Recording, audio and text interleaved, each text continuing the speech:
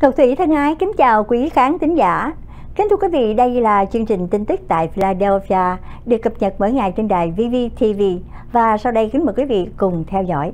Chương trình tin tức được đặc biệt bảo trợ bởi công ty xuất nhập cảng Ten Lê Yến, số điện thoại 714 418 9788 hoặc vào trang mạng tiệm yến.com với các sản phẩm đông trùng hạ thảo, nhụy hoa nghệ tây saffron, yến các loại. Mở đầu bản tin đầu tiên cho biết học sinh của học khu Philadelphia phải đeo khẩu trang khi bắt đầu năm học mới. Trong cuộc họp báo về kế hoạch chi tiết vào đầu tháng 8, các quan chức thuộc học khu Philadelphia cho biết rằng ngoài việc chuẩn bị học cụ, sách vở, học sinh của học khu cũng cần mang theo khẩu trang và được yêu cầu sử dụng khẩu trang trong 10 ngày đầu tiên của năm học mới. Biện pháp này để phòng ngừa đại dịch sau khi các em có nhiều cuộc tụ họp tại nơi công cộng suốt mùa hè. Sau 10 ngày, việc đeo khẩu trang không còn là vấn đề bắt buộc nhưng vẫn được khuyến khích thực hiện. Và quyết định này dựa trên mức độ lây nhiễm Covid trong khu vực, tuân theo sự hướng dẫn của Trung tâm Phòng chống dịch bệnh Hoa Kỳ. Học sinh và các thầy cô giáo cũng như các nhân viên thuộc học khu Philadelphia cũng phải đeo khẩu trang trong một số trường hợp nhất định. Nếu dịch bệnh bùng phát trong trường lớp hoặc là sau thời gian nghỉ giải lao kéo dài, học khu cũng đang triển khai việc đeo khẩu trang đối với các nhân viên và học sinh có tiếp xúc với người nhiễm COVID-19 cho dẫu họ đã tiêm chủng vaccine. Tuy nhiên họ không bị cách ly tại nhà, trừ phi có những triệu chứng giống như nhiễm coronavirus. Nếu một học sinh có kết quả dương tính phải cách ly ở nhà ít nhất là 5 ngày và học trên online. Sau thời gian này, các em có thể trở lại đường, nhưng phải đeo khẩu trang có chất lượng cao thêm 5 ngày nữa và ăn uống trong khu vực quy định. Giáo viên cũng như nhân viên cần phải tiêm chủng vaccine. Tính đến giữa tháng 8 đã có 89% người của học khu Philadelphia được tiêm chủng và một cậu bé 4 tuổi bị bắn trong tiệm hớt tóc ở Philadelphia.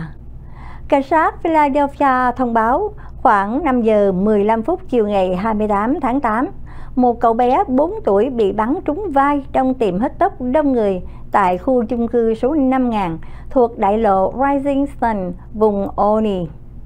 Được biết có sự xung đột tranh chấp xảy ra trước khi một người đàn ông nổ súng.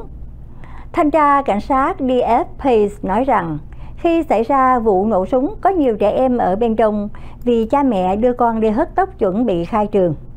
Người cha gây tai nạn giao thông tại đường số 13 và đại lộ Grand thuộc khu Front Rock và trong lúc cố gắng đưa con đến trung tâm y tế. Một người khác đã giúp ông đưa cậu bé vào bệnh viện. Tình trạng sức khỏe của nạn nhân đã ổn định. Ngoài ra, cậu bé nói trên không có ai bị thương tích Nhà chức trách đang truy nã nghi can, bất kỳ ai có thông tin vui lòng báo cho nhà cảnh sát Philadelphia. Và tin tiếp theo bắt giữ nghi can liên quan đến tấn công tình dục ở khu vực Kensington.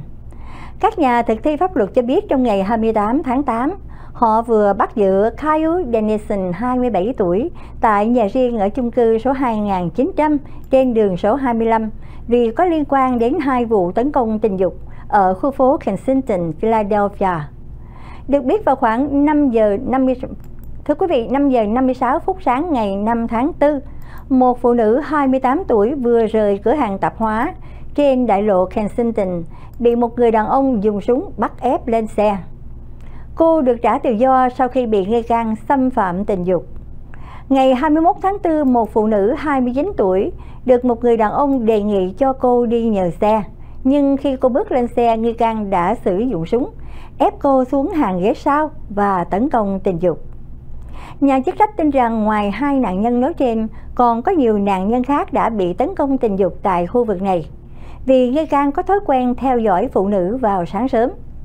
Trước đó, một đoạn video do nhà cảnh sát phát hành cho thấy chiếc xe Dodge Charger màu xám tro của nghi can đã được xác định vị trí. Bất kỳ ai có thông tin về hành động vi phạm tội ác của nghi can Denison hoặc là bất kỳ ai từng là nạn nhân bị tấn công tình dục trong thời gian qua, vui lòng thông báo cho tổng đài điện thoại khẩn cấp 911 hoặc đơn vị nạn nhân đặc biệt của nhà cảnh sát Philadelphia. Và sang qua bản tin nói về đóng cửa các tuyến đường trên đại lộ Washington. Các quan chức thuộc dự án sửa chữa cải thiện đại lộ Washington thông báo rằng, thời gian tạm thời đóng cửa các tuyến đường trên đại lộ Washington ở phía nam Philadelphia có hiệu lực từ thứ hai vào ngày 28 tháng 8. Và công việc sửa chữa được thực hiện trong 4 giai đoạn riêng biệt. Giai đoạn đầu tiên là loại bỏ lớp nhựa đường cũ kéo dài khoảng 2 tháng. Đại lộ Washington sẽ đóng cửa từ 7 giờ tối đến 5 giờ sáng ở giao lộ đường số 4 đến đại lộ Graceberry. Dự án này có nhiều tranh luận đối nghịch và được từ lâu. Văn phòng cơ sở hạ tầng giao thông bền vững cho biết, một cuộc khảo sát của họ vào năm 2021 cho thấy 95% dân chúng nói rằng con đường kéo dài suốt 8 giao lộ cần được sửa chữa và thay đổi. Ông Michael Carroll, phó giám đốc điều hành nói rằng dân chúng ở phía đông sẽ lái xe chậm hơn. Đây là điều tốt để phải chú ý hơn đến môi trường sống. Còn tại phía đông đường Broad, Ủy viên Hội đồng Smart Killer thuộc quận 1 cũng cho biết những tuyến đường dành riêng cho xe đạp trên đường số 4 và đường số 11 sẽ được thực hiện, giảm bớt tuyến đường dành cho người lái xe có động cơ. Trước đó có rất nhiều tranh luận của các cư dân và người buôn bán trên đường Broad. Một thương gia tên Jeff Riddle ở chợ Ý Đại Lợi không ủng hộ dự án sửa chữa đại lộ Washington vì mô hình giao thông mới khiến cho công việc buôn bán của ông gặp khó khăn. Và sau cùng tin cho biết các cửa hàng ở Philadelphia giúp cho học sinh khi chuẩn bị ngày khai trường. Một số cửa hàng và tổ chức cộng đồng ở Philadelphia thực hiện nhiều sự kiện miễn phí trong ngày 28 tháng 8 để giúp các gia đình giảm bớt chi phí cần trang trải khi các con chuẩn bị cho ngày khai trường. Cửa hàng y phục Octave thuộc ờ, đã hợp tác với trường trung học Orny phát đồng phục miễn phí cho các em. Hiệu phó Lay Pesco cho biết, đôi khi thì học sinh không được trao tặng tất cả những gì các em xứng đáng có bởi vì nhà trường không có sẵn. Các quan chức trong ban giám hiệu muốn tặng học sinh tất cả những gì họ có thể tặng để các em vui vẻ đến trường, hăng say học hành và đạt được kết quả tốt. Cửa hàng Octave tặng 500 chiếc quần Dickies trị giá 40 Mỹ Kim một chiếc cho bất kỳ học sinh nào ghi danh. Chủ cửa hàng là ông Notray Hanel nói rằng đây là một phần nhiệm vụ của họ với tư cách là thương nghiệp nhỏ trong cộng đồng địa phương để có thể đền đáp sự ủng hộ của dân chúng cũng như để chia sẻ những khó khăn cùng các vị phụ huynh trước ảnh hưởng nghiêm trọng của kinh tế và đã đang xảy ra trên đất nước cũng như trước sự gia tăng bạo lực súng đạn tại Philadelphia. Ngoài việc tặng quần Dickies, chính học sinh đầu tiên đến cửa hàng cũng được tặng ba lô miễn phí.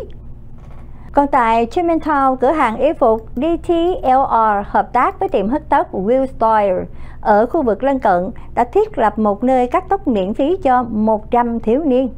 Các chuyên gia cho biết rằng việc trang bị y phục và học cụ cho trẻ em trong năm học mới rất tốn kém.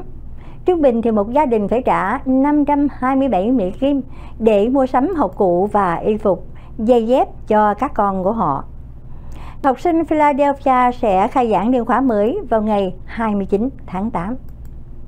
Kính thưa quý vị, vừa rồi chúng tôi đã gửi đến quý khán thính giả những bản tin liên quan đến địa phương. Ngọc Thủy cảm ơn quý vị đã theo dõi chương trình. Kính chúc quý vị một ngày đầu tuần thật nhiều hạnh phúc. Thân ái, kính chào.